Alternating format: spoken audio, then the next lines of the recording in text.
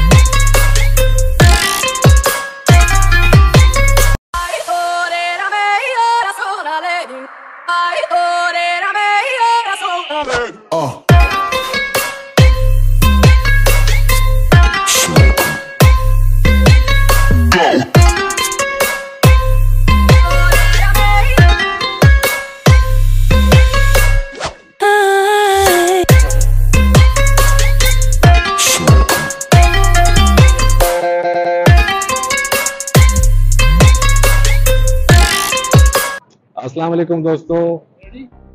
अ, मैं आज अपने एक प्यारे दोस्त फहद खान सूरी जो कि लास्ट वीडियो में भी हम इकट्ठे थे।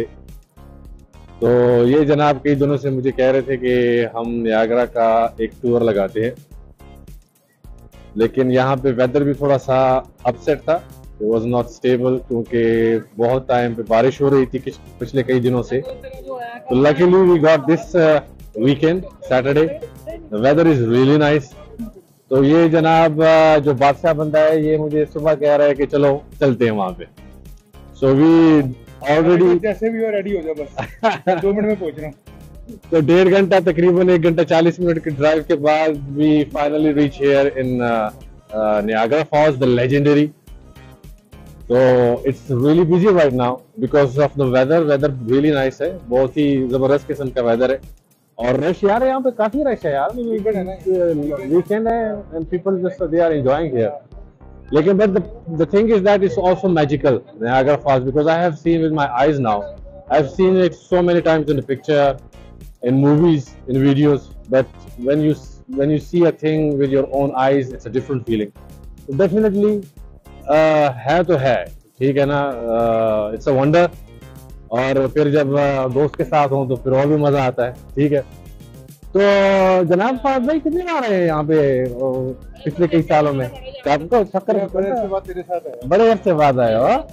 तो एक दफ़ा ही देखने को होता है बंदे को उसके बाद बार मेरे ख्याल में जो है ना। डेफिनेटली कोई आए कोई दोस्त यार कोई फैमिली वैमिली आए तो उसको घुमाने के तो लिए। घुमाना है ना। हाँ, तो पास की जगह है। न्यागरा ले आता है न्यागरा दिखाते हैं। जब पास की जो जगह है ना वही है। जब दूसरे स्पॉट बताते हैं कनाडा के हाँ, एडवेंचरस वो कहते नहीं हमने। न्यागरा ले जाओ। नियाग्रा ले जाओ। Definitely it's a famous place जब कनाडा का नाम आता है ना खासकर जब टोरंटो का हम्म।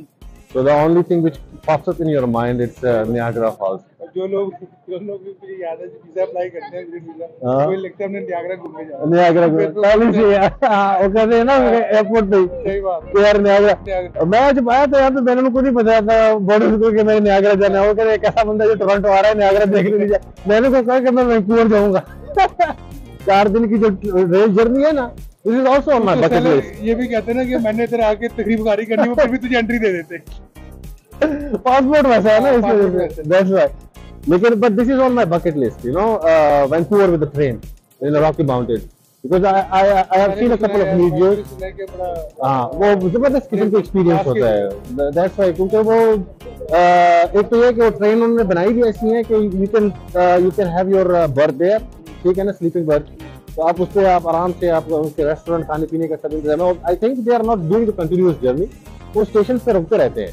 ताकि अगर कोई वो कर रहे कुछ खाना वाना खाए या कोई तो तो बोर हो जाता है ना यार तो चार पाँच दिन तो मुसलसल ही बंदा ट्रेन में एक अपार्टमेंट में बस हाँ हाँ एग्जैक्टली वो ग्लास व्यू है उसका एग्जैक्टली तो yeah it was a, it is an amazing experience uh, i don't need to say anything else because it's self explanatory i'm there is a in the back view i never thought that i will be standing here with Fahad uh, enjoying this view near Niagara Falls so ज़िंदगी है। uh, ये experience भी करने का मौका मिला thanks to God और देखते हैं कि और क्या क्या चीज़ें देखने को मिलेंगी।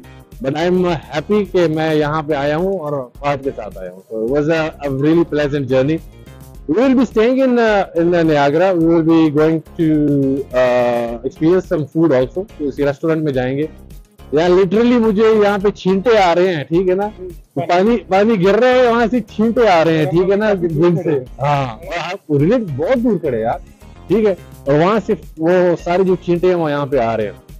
रश बहुत ज़्यादा है, ठीक है ना? People are enjoying people are having really good time तो थोड़ी देर बाद जाते हैं वहाँ पे यहाँ पे हम गुजारते हैं, थोड़ा टाइम लगाते हैं फिर उसके बाद हम दोनों किसी रेस्टोरेंट में जाते हैं, वहाँ पे थोड़ी और गपशप लगा लेंगे। तो नयागरा से आप लोगों के लिए अभी तक इतना अगर इससे ज़्यादा करना है तो आपको कनाडा आना पड़ेगा। नहीं?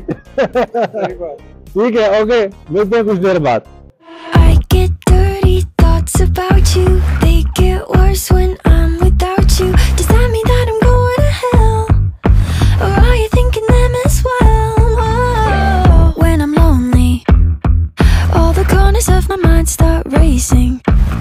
Things that should be kept in the basement.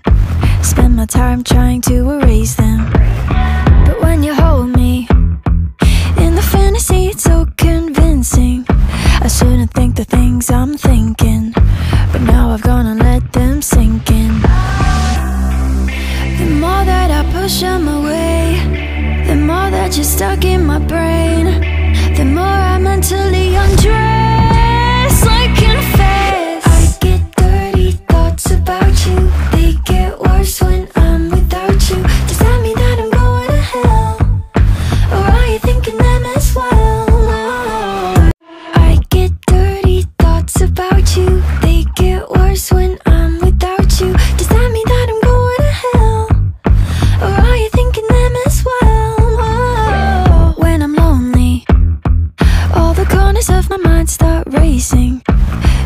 should be kept in the basement. Spend my time trying to erase them. But when you hold me, in the fantasy, it's so convincing. I shouldn't think the things I'm thinking, but now I've gone and let them sink in. The more that I push them away, the more that you're stuck in my brain. The more I mentally